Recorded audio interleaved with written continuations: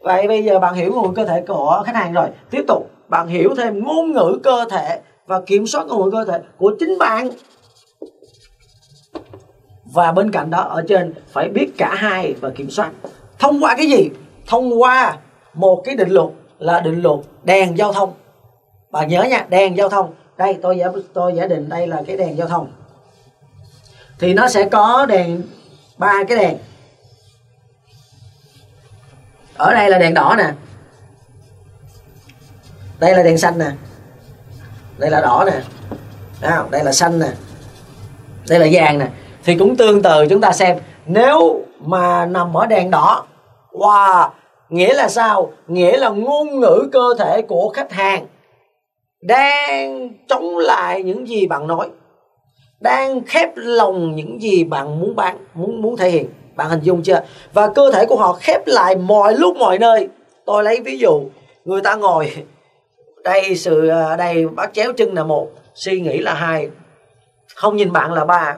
Đúng chưa? Giao tiếp mà chẳng thèm nhìn bạn. Và tiếp tục có một ý à, có một cái cái điệu bộ là điệu bộ vờ che giấu chẳng hạn. Ví dụ thế. Hay là có một cái à, một cái động thái là uh, người ta nói xong người ta vuốt mũi uh, uh, uh, vuốt mũi người ta dụi mắt. Đây, nó biểu hiện của sự nói dối á đấy là những cái cái việc mà họ khép lòng lại. Ờ, người bạn hỏi là thế anh chị thấy nó nó có lợi không? Ừ, lợi chứ lợi dối đấy bạn đừng chưa thì nó đang ở đèn đỏ mà. Vậy bạn phải hiểu những cái hành những cái ngôn ngữ cơ thể nào nó là chiều hướng tiêu cực những ngôn ngữ cơ thể nào là chiều hướng tích cực thì chúng ta phân tích trong bài rồi. Bây giờ chúng ta ứng dụng thôi. Vậy nếu nó tiêu cực thì bạn liệt kê vô đèn đỏ cho tôi bạn gặp khách hàng mà một khoanh tay khoanh chân như thế này. Ừ, ừ để chị suy nghĩ. Ừ. Đấy là tiêu cực. Bạn gặp khách hàng mà khách hàng không bao giờ giao tiếp face to face hết đấy mà giao tiếp thông qua một cái bàn dài nè. Đó. Đã bị đã bị ngăn trở bởi cái bàn rồi thì bạn khó lòng thuyết phục được khách hàng lắm. Cho nên đấy là cũng là đèn đỏ. À nếu đã đèn đỏ thì chiến lược đưa ra chúng ta dừng ngay hẹn buổi khác là một. Chúng ta chuyển chủ đề và chúng ta bật lại cái đèn xanh của chính chúng ta nè. Nghĩa là mình mở lòng ra thông qua ngôn ngữ cơ thể của chính mình để khách hàng nhận thấy mức độ chân thành sự mở lòng của mình để khách hàng khách hàng bắt trước lại những hành vi của mình. Bởi vì bắt trước là xu hướng của con người mà.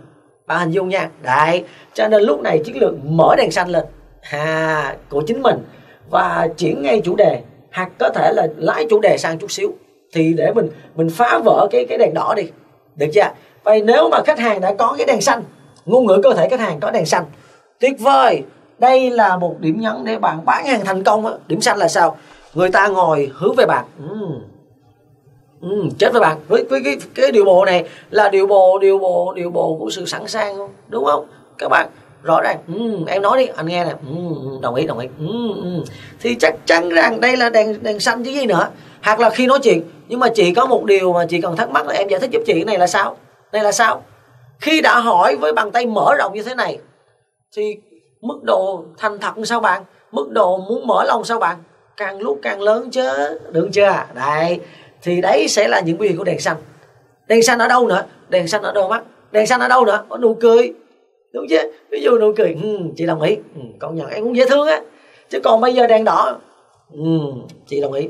Ừ ừ, ừ, ừ, ừ, nhưng mà chị em nói như thế này nha. Em nói như thế này là chị không đồng ý đâu chị thấy xem thường á. Đấy là cười nhánh mép là đèn đỏ. Bạn hiểu chưa? Vậy đèn vàng nghĩa là sao? Nghĩa là người đó đang đang vừa có đè vừa có những cái biểu hiện tiêu cực cũng như vừa có biểu hiện tích cực. Nghĩa là họ đang nghi ngại nghi ngại. Họ đang trăn trở họ đang hoài nghi. Ví dụ ừ, ừ, ừ. đây là biểu hiện của sự hoài nghi bạn. Ừ, ừ. muốn suy nghĩ nữa. Bạn hình dung chưa? Muốn suy nghĩ nữa. Ừ. thì bạn đừng cố thuyết phục họ, mà hãy giải thích và từ từ để họ tự quyết định được chính họ. Bạn hình dung chưa? Đấy. Cho nên rằng bạn có thể liệt kê, cái đấy là tùy vào cái việc mà bạn tiếp thu ra sao. Bạn liệt kê vào trong việc bán hàng. Để làm gì? Cuối cùng, bạn phải đưa về doanh số cao nhất cho công ty. Cuối cùng, bạn phải hướng tới tập trung của khách hàng. Tập trung giải quyết không những lợi ích nhu cầu sự thỏa mãn cho khách hàng mà còn phải hiểu về khách hàng thông qua ngôn ngữ cơ thể của họ nữa. Để mình đoán được à bản chất của cô ta muốn cái gì cô ta muốn mình phục vụ ra sao để làm sao làm mình tăng doanh số của mình lên chứ. Đúng không? Đây cũng là một trong những ứng dụng. Đấy, thì à, đến đây chúng ta kết thúc cái bài học của chính chúng ta. Đúng không? Thì hẹn các bạn ở những bài học khác.